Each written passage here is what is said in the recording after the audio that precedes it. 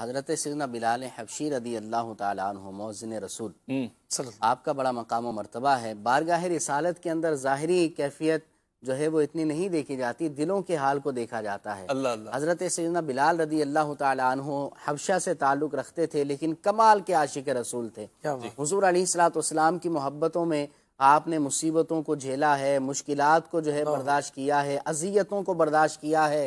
یہاں تک کہ حضور علیہ السلاۃ والسلام جب آپ جو ہے حضور علیہ السلاۃ والسلام کے ساتھ آ گئے غلامی سے آزاد ہو گئے تو حضور علیہ السلاۃ والسلام کے ساتھ رہنا آپ کا بہت بڑا شوق ہوا کرتا تھا۔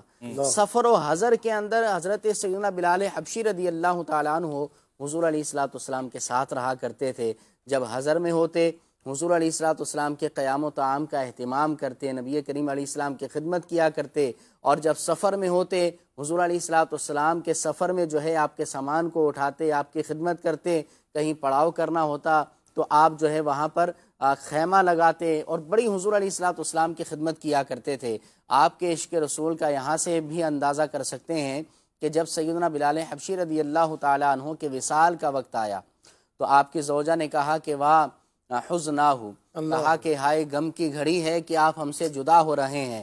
تو سیدنا بلال حبشی رضی اللہ تعالیٰ عنہ نے فرمایا واہ تربا ہو کہ آج تو خوشی کا دن ہے کہ آج کے بعد میں اپنے آقا و مولا علیہ السلاۃ والسلام کے دربار میں جا کر پہنچ جاؤں گا۔ حضور کی جو ہے وہ زیارت نصیب ہوگی۔ کیا خوب شعر ہے کہ نجم کی ہے خدا آرزو ہے یہی عاشق زار کی آبرو ہے یہی۔ موت کے وقت سر ان کے قدموں میں ہو۔ اور دید ہوتی رہے دم نکلتا۔ اللہ اللہ۔